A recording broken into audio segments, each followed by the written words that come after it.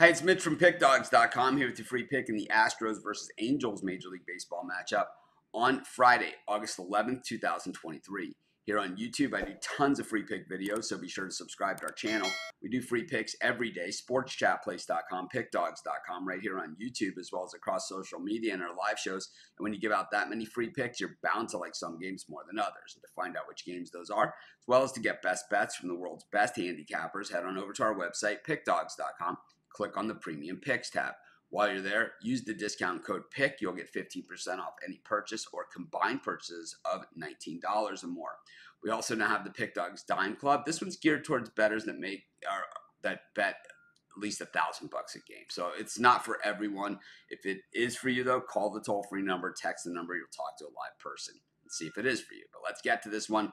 Got the Astros against the Angels, and well, it's that time of year, and here come the Houston Astros.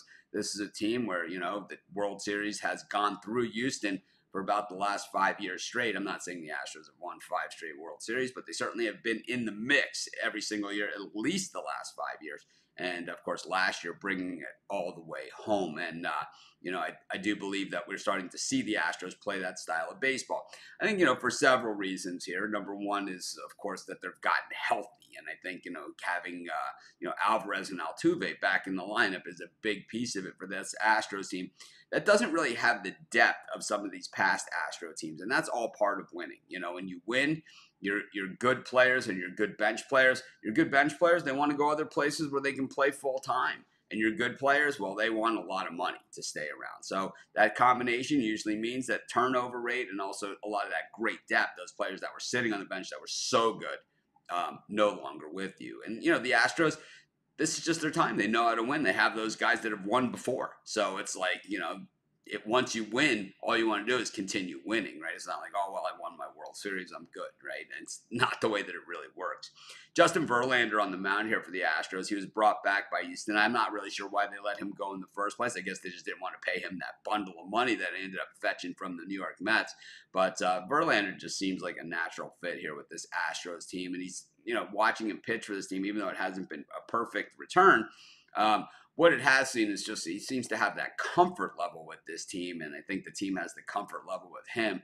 And uh, I think this is probably a pretty good combination for both these guys.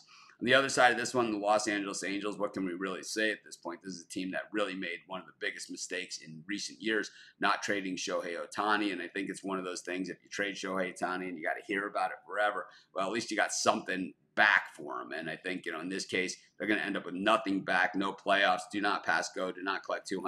In fact, we're going to pound the Astros here as well.